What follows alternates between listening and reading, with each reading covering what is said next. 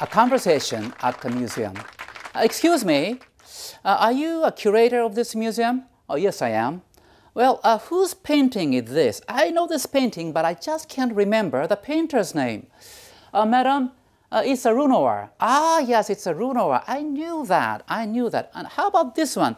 Ah, this is very famous painting. This is uh, is called Girl with uh, Pearl Earrings, right? There is even a novel and a film based on this, but I just can't come up with uh, the painter's name.